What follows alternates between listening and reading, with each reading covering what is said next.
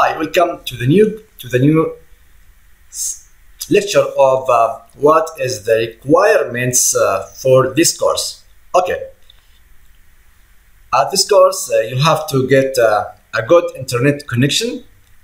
Uh, you have to own a personal computer, uh, which will work with Windows or a Macintosh or Unix or laptop exactly as as the same a smartphone for testing uh, live preview for app after uh, finish. Um, number four, good knowledge and experience with uh, WordPress and WooCommerce.